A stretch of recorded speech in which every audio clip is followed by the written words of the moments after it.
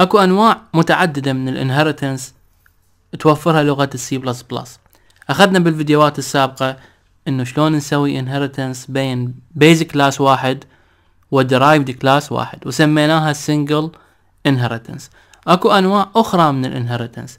فاذا إحنا عندنا إذا كان أكو مثلا base class واحد اللي هو خلينا نقول ال A هذا هو ال base class وهذا ال A راح يورث صفاته إلى class آخر اللي هو خلينا نقول ال B بهاي الصورة. مثل ما شفنا بالفيديو السابق هذا سميناه ال class person وعرفنا إلى name و age والدوال الخاصة به وهنا عرفنا class خاص بال student وعرفنا إلى ال level اللي هو المرحلة. هذه شو يسموها؟ هذه يسموها single inheritance. يعني شنو single inheritance يعني derived class إلى parent واحد أو إلى basic class واحد. اذا أكو نوع آخر من ال inheritance اللي يكون بيها أكو أكثر من basic class. مثلا أكو class اسمه A و class آخر اسمه B و class مشتق اسمه C derived class.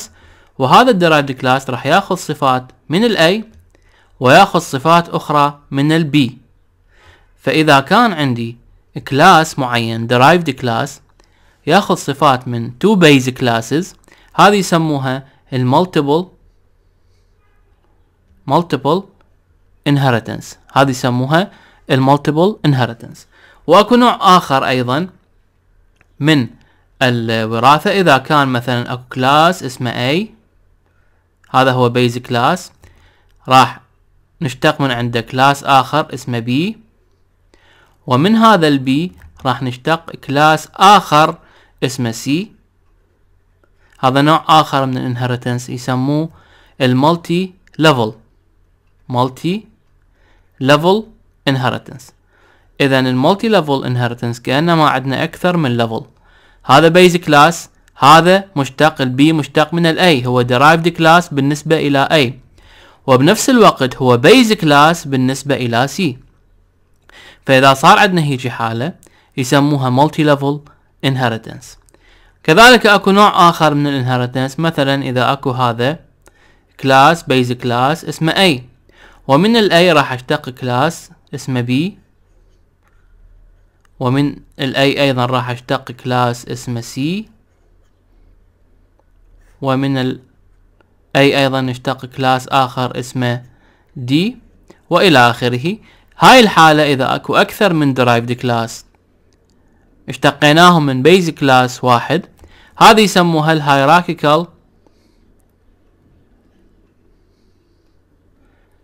hierarchical inheritance يعني الطبقية أو الهرمية الوراثة الهرمية.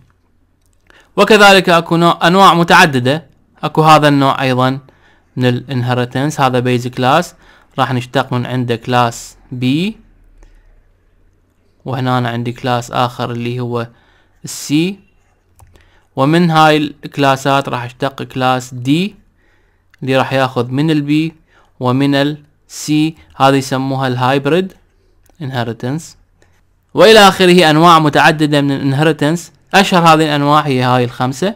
إحنا أخذنا مثال عن هذا النوع اللي هو ال single inheritance وبهذا الفيديو راح ناخذ مثال على هذا النوع.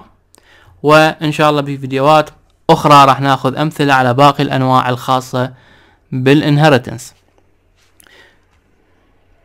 فهنا عندنا بالفيديو اللي كان خاص بال single inheritance أخذنا إحنا class person قلنا هذا person class A وكان هنا عندي person وبداخل هذا class قلنا أكو فد name اللي هو string أو مصفوفة حروف. وعندنا age اللي هو integer ومن هذا ال person اشتقينا class آخر اللي هو student واللي كان عنده ال level اللي هي هي المرحلة. فكان هذا بال single inheritance راح يكون هذا ال person هو base بالنسبة لل student فال student راح يقدر ياخذ ال name وال age من ال base class خلينا نفرض إنه إحنا نريد نسوي هذه الصيغة. يعني نريد نشتق class من هذه ال classين. يعني ال person وال student راح يكونون بالنسبة راح يكونون base class بالنسبة إلى class آخر. مثلا راح نسمي اللي هو هنا C راح نسمي هذا ال class H student مثلا. مثلا H student يعني مثلا طالب دراسات عليا. طالب الدراسات العليا هو أي person عنده اسم وايج فراح ياخذ الاسم والايج من ال person وراح ياخذ ال level من من هذا الطالب. وخلي نفرض عنده أيضا هو فد research مثلا. فالمتغير اللي راح يحتوي على اسم البحث مالته مثلا باعتبار طالب الدراسات يكون عنده بحث إذا كان عنده ماجستير أو دكتوراه. فكمثال فاذا هذا ال student في حالة ال multiple inheritance راح يأخذ صفات من ال person وراح يأخذ صفات من ال student فما دام صار عنده أكثر من base class هذه يسموها شنو؟ multiple inheritance فراح نطبق هذا المثال ونشوف شلون راح نسوي implementation إلى هذه الطريقة من طرق ال inheritance وباستخدام طبعا ال constructors مثل ما شفنا بالفيديو السابق شلون استخدمنا ال constructors بوجود ال inheritance بين base class واحد و derived class واحد اللي هي ال single inheritance فننتقل إلى البرنامج مالتنا. هذا البرنامج اللي هو طبقناه باستخدام ال constructors واللي كان خاص بشنو؟ بال single inheritance زين. هسه آني شنو راح يصير عندي؟ راح يصير عندي هذا ال person هو base class أول. راح يحتوي على ال name وال age وأيضا هذه ال constructor الخاصة مالته وهاي ال print الخاصة مالته. هذا ال class الثاني بعد ماكو وراثة هنا خلي نفرض على سبيل المثال. هاي كلاسين منفصلات. ال person وحد وال student وحد ال student عنده level هنا بعد ال constructor مال student ما نقدر نستدعي ال constructor مال ال parent باعتبار ذني كلاسين منفصلات. فال student هنا مجرد راح ياخذ ال L ال level وال print هنا مجرد راح يطبع لي شنو؟ ال level زين. هنا راح نسوي ال class الثالث. اذا ال person هو حسب المخطط. هنا ال person هو A. وال student هو B. هسه راح أسوي class ثالث اللي هذا هو C اللي هو H student مثلا طالب دراسات عليا. وراح نحاول نسوي له implementation لهذا ال class فمثلا هنا أنا أقول class h student h student. هذا ال class عنده فد متغير. هنا خلينا نشوف إحنا استخدمنا شنو؟ استخدمنا string. فخلينا نستخدم هنا string. مثلا research. هذا راح يمثل اسم البحث مالته. نوعه string. زين. هنا راح نعطيه constructor اللي تحت ال public اسم ال class نفسه. وراح أمرر لها وهذا البناء مالتها. المفروض هنا تمرير هذا ال constructor هسه راح نشوف شنو التفاصيل مالته. وراح انطي هنا دالة الطباعة الخاصة بهذا ال class اللي راح تطبع لي cout لل research. اللي هو اسم البحث. وهنا أنا عندي ال main. بال main مثلا خلي نعرف شنو؟ راح نعرف object إلى ال class الثالث. هنا قبل لا نروح على ال object خلينا نسوي صيغة الوراثة؟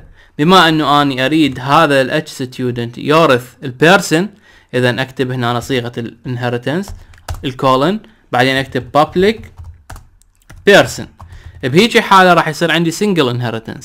إذا أردت multiple inheritance يعني يصير وراثة بين هذا وبين ال person وهذا أيضا يأخذ من من ال student نخلي فارزة فارزة public student.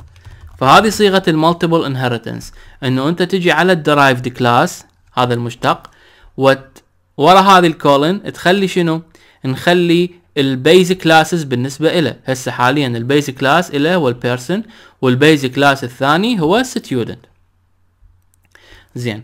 مثل ما سوينا هنا بال constructors إحنا هنا إيش راح ناخذ من ال base class راح ناخذ ال name وال age ومن ال student راح ناخذ ال level ومن ال H student عند ال research فاذا هذا ال H student ما دام هو راح يورث من ذني الكلاسات اذا هو راح يصير عنده أربعة data member راح يصير عنده ال name وال age راح ياخذهم من ال person وراح يصير عنده level راح ياخذه من ال student وهو عنده فد شيء اسمه research فاذا أنا من أجي أعرف object هنا أدز لازم أربع شغلات. أدز اسم الطالب وعمره. هذه أدزهن المن أدزهن لل constructor مال base class مثل ما سوينا بالفيديو السابق. وهذه ال level أدزها طبعا هذا ال base class الأول لأن ذني مال person وهذه ال level أدزها لل base class لل constructor مال base class مال student اللي هو ال base class الثاني. واسم البحث مثلا هنا a a new method مثلا. هذا اسم البحث مالته. هذه بعد أدزها لل constructor الخاصة بهذا الخاصة بهذا ال class المشتق. خلينا نسميه h1 وهنا أستدعي دالة ال print اللي راح تطبع لي هذه المحتويات. فمن نجي على ال constructor مال H student المفروض تستلم من عندي أربع شغلات. مثل ما أنا عرفت object ودزيت أربعة string ب integer ب integer ب string فهنا لازم أستلم من عندها أربعة. أدز اثنين لل base class الأول وأدز ال level لل base class الثاني. وهنا مجرد آخذ ال research ال research راح ياخذ ال r مثلا. فهنا أنا استلم أربعة. String مثلا n. integer age أو a. و integer l اللي هو ال level و string مثلا r. ال r هو خاص بال research. أنا دزيت اسم البحث رابع واحد. زين هذني ال n وال a لازم أدزهم المن ندزهم لل person لل constructor مال base class لأن مثل ما نعرف إنه إحنا ال constructor مال derived class تستدعي ال constructor مال base class مالتها هنا أنا كم base class عندي؟ عندي اثنين. فلازم ال n وال a أدزها لل person حتى تجي تستدعي هذه ال person هذه ال person تجي الاس هنا وال a هنا وتصير بال name وال age وال l أدزها المن أدزها الهاي ال constructor راح تاخذ ال l تنطيها لل level وال r ما أدزها ال constructor ال r أستخدمها بداخل ال constructor هي نفسها مال derived class فشلون أدز ال n وال a أسوي colon مال وراثة واسم ال constructor هي person n فارزه a هذه بالنسبة لل n وال a هسه راح تروح لهذه ال constructor اللي هو الاسم والعمر. زين وال level هخلي هنا فارزه حتى أستدعي ال constructor الآخر.